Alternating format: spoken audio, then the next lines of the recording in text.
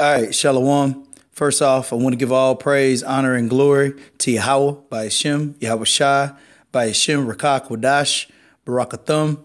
Double honors to the apostles of Great Millstone who teach and rule well, and peace and salutation to the elect Akim out here during this fight, pushing this word with faith, hope, and sincerity. So, um, basically, I've been thinking, meditating on uh, what kind of example um, are you setting not only for yourself, um, but what kind of example are you setting on behalf of Yahweh by Shemiah Shai? And so there's a few examples in the scriptures, and um, either you can fall on one side or another of those examples.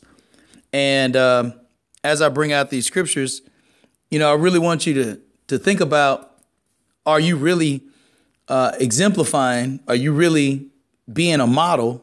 Are you really being a pattern of what these scriptures um, are teaching us, and what our elders and our apostles are teaching us? Uh, of course, we know that that we are striving, you know, uh, for the truth, and we are pressing towards that mark. However, when when brothers see you, what kind of example are you setting? Are you setting an example of a, a diligent, uh, righteous man that is uh, giving his all, you know, for this ministry and for salvation? Or are you lukewarm?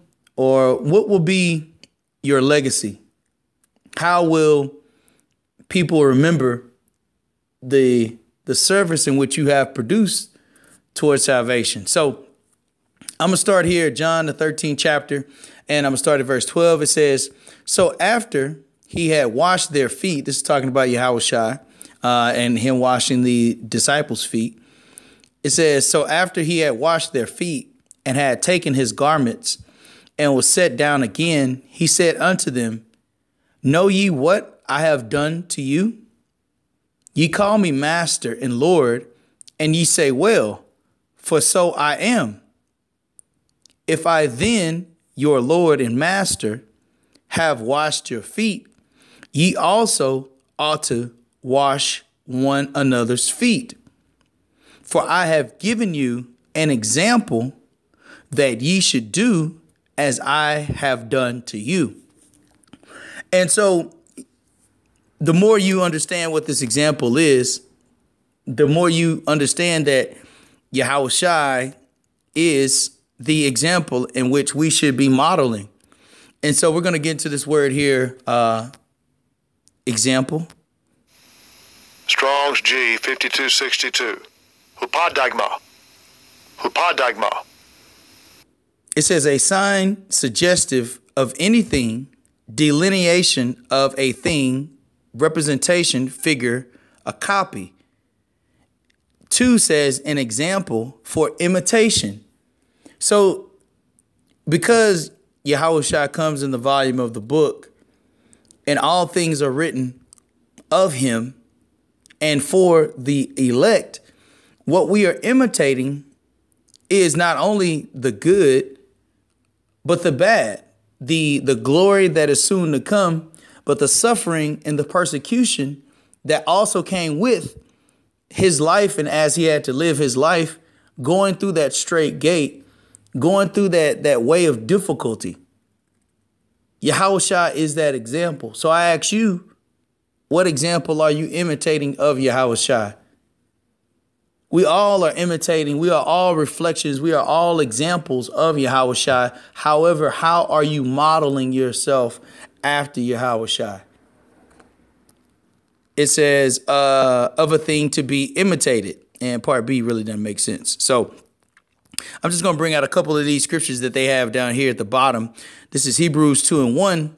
It says, Therefore, we ought to give the more earnest heed to the things which we have heard, lest at any time we should let them slip.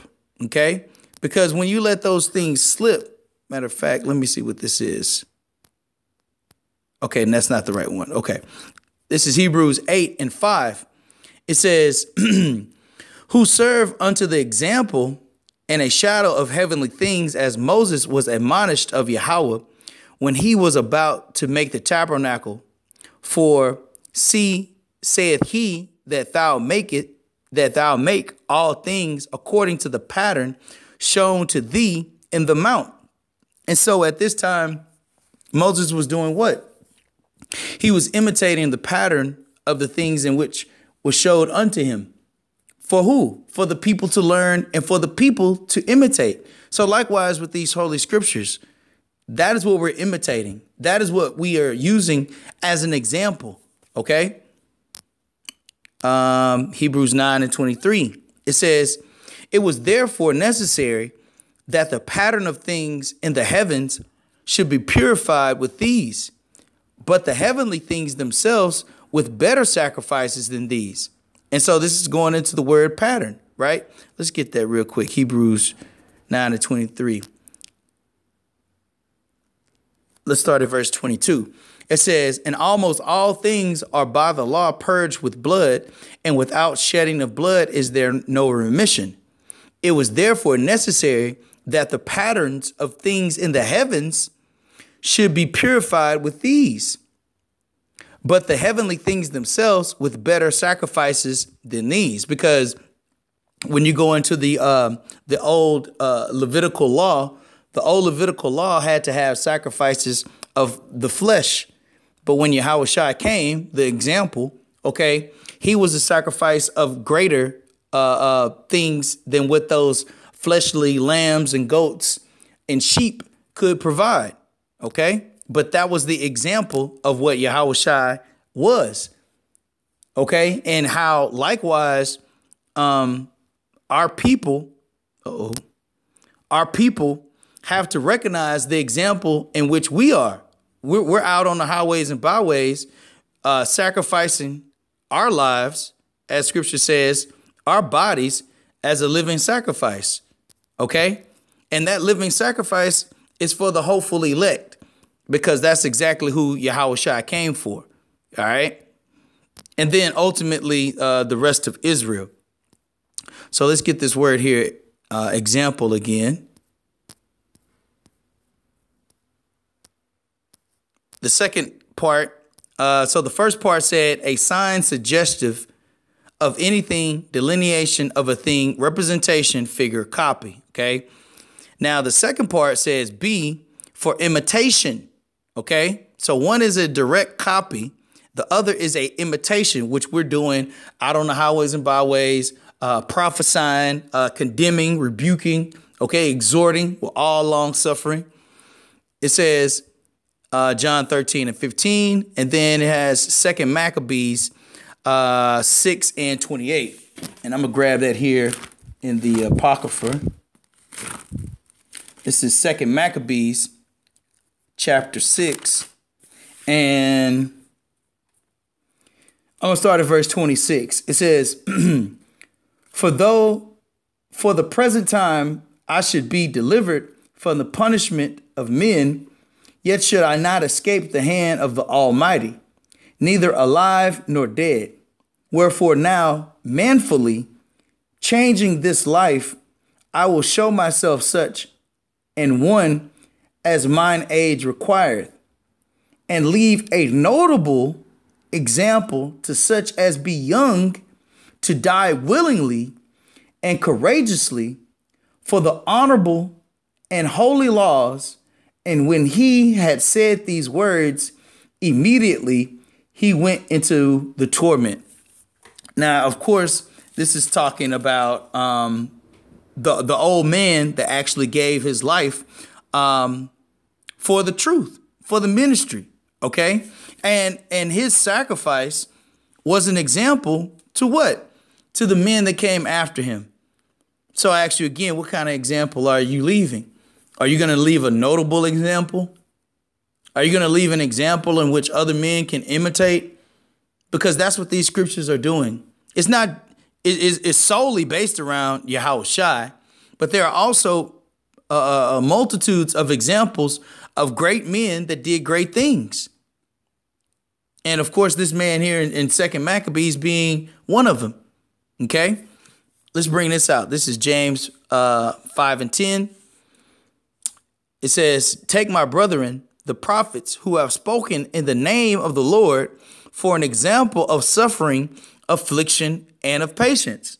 So, once again, you're not just going to get a reward of the kingdom by just knowing that you're an Israelite, just knowing that you know the names of the Heavenly Father and the Heavenly uh, Father Son.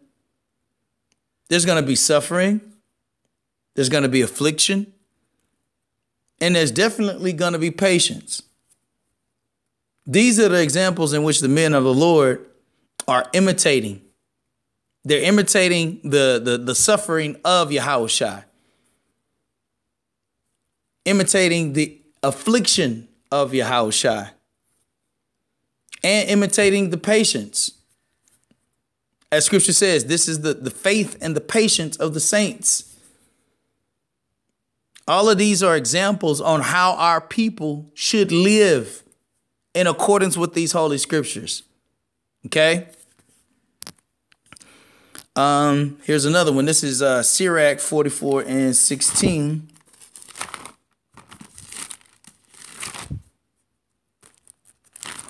It says it says, um, Enoch pleased the Lord and was translated, being an example of repentance to all generations. So, just as the the uh, the, the man in Second Maccabees, the uh, sixth chapter was an example, okay, of of of dying willfully, okay, and lawfully. All right. Likewise, here in uh, Sirach, the 44th chapter, in the 16th verse, we have Enoch doing the same thing. Okay? But this time it was for what? For repentance. See, these, these are the, the notable examples of characteristics, attributes, okay, in which you align either one way or another with these same characteristics of these scriptures. Because if not, you're going to be tested in them. You're going to be tested in your, your suffering. You're going to be tested in your affliction, your patience, your repentance, your brotherly love, your endurance. The example are the scriptures. Imitate them. It says, uh, Hebrews 4 and 11. Let us labor, therefore, to enter into that rest, lest any man fall after the same example of unbelief. So now we're looking at the bad side of the example. Because you can be an example for good, or you can be an example for bad. See, two thirds are examples of unbelief. Okay? They're not imitating Yahawashi. They're imitating or they're coming up with their own logic, their own will, their own laws. To be disobedient towards the example, the cast, the mold, the copy. See, that's that, that's how you that's how you become disorderly. You know, cats drawing all out, you know, coloring all outside the, you know, at the coloring book line. Like it's a reason why there's there's an outline and you're supposed to color within the line. Cause that's the example. Okay? When you're going all outside the framework and doing your own thing, that's when you receive your reward. Okay? And, and that reward isn't going to be the reward in which the example of Yahawashi received, which is salvation. Okay? Um, last verse here. This is Second Peter 2 and 6. It says, And turning the cities of Sodom and Gomorrah into ashes, condemned them with an overthrow, making them an ensample unto those that after should live ungodly. So, first of all, you got the example of the unbelief with Hebrews 4 and 11.